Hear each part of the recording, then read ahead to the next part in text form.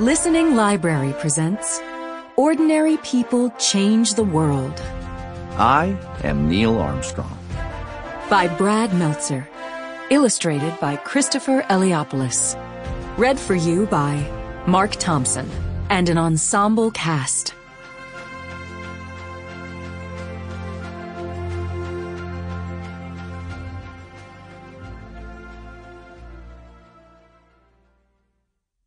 I am Neil Armstrong. I grew up on a farm with no electricity. When I was eight years old, my goal was to climb this silver maple tree, the biggest one in my backyard. It seemed impossible. The tree was so big, and I was so small. How would I do it? I'd need to be brave. I wasn't a brave kid, though. Back in Ohio, when I was three years old, I got scared when we went to see Santa Claus. Say cheese. I'd also need to be smart. As a kid, I loved to read. In first grade, I read more than 100 books. Really? Yep, more than 100 in one year. Finally, I'd need to be patient. During Monopoly games, when my brother would get upset and kick the table, I always stayed calm. Yet to climb that huge tree, the only way to get to the top was this. I had to take that first step. Up we go. Climbing the tree was like a puzzle.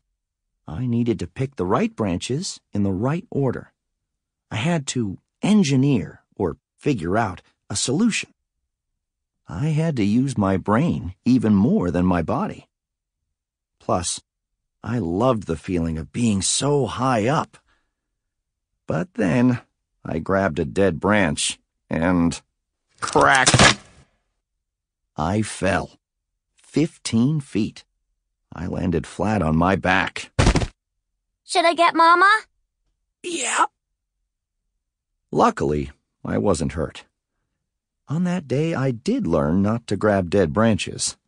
But the most important thing I did was get back up again. Success never comes easily. It takes hard work. And when it came to hard work, I was really good at that.